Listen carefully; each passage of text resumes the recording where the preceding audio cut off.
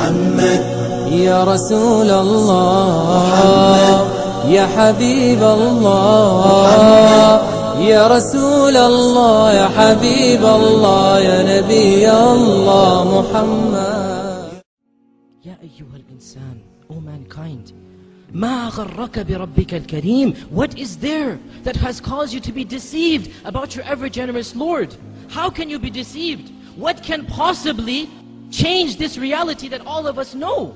The only way to attain tranquility is through the worship of Allah, is by turning to Allah, is by making Allah the ultimate goal and destination. We all know this. Then why is it that we turn away from this path? Why is it that this world can seduce us away from this path? O mankind, what is there that has caused you to be deceived about your Lord? Has not the time come, my dear brothers and sisters, for our hearts to become soft at the remembrance of Allah and at the Quran and at hearing about Allah and His Messenger? Has the time not come that our hearts turn to Allah and that we become better Muslims? My dear brothers and sisters, how many khutbahs will it take? How many lectures must you be told? Don't you understand? Don't I understand? If I don't change now, if you don't change now, this is a plot from shaitan never to change. There is no tomorrow. Tomorrow never comes. Every day has another tomorrow.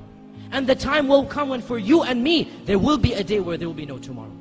If we keep on saying, tomorrow I'll start praying, tomorrow I'll be a better Muslim, this tomorrow will never arrive. My dear brothers and sisters, what do you need to convince us? What do we need to convince us? Don't you see what's happening in the Muslim Ummah?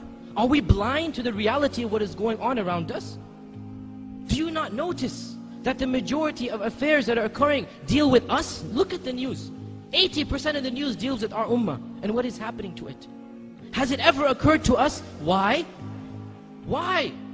Are we not believers of Allah? Are we not worshippers of Allah? Or are we? Or are we really and truly believers and worshippers of Allah? Allah says in the Quran that izzah, honor and glory and power will always belong to Allah and to His Messenger and to the believers, the mu'minun. Therefore, it is not possible that the real mu'minun will ever be humiliated. It is not possible, my dear brothers and sisters, that permanently the situation will always be in our disfavor. Therefore, there is something wrong. We are not doing our job. We are not reaching the level of iman that is required of us. And that is why we have not reached the level of izzah and honor and glory that is promised to us as well. How can we ask Allah to do His part of the contract when we don't do our part? How can we ask Allah for help when we don't deserve that help? Do we not realize that this is a wake-up call for us? What is happening in the Muslim Ummah, Allah is doing it for our sake. Allah says in the Quran, مَا يَفْعَلُ اللَّهُ بِعَذَابِكُمْ إِن شَكَرْتُمْ وَآمَنْتُمْ What will Allah gain? What will Allah gain by punishing you? If you believe and are thankful to Him. If, this is the if.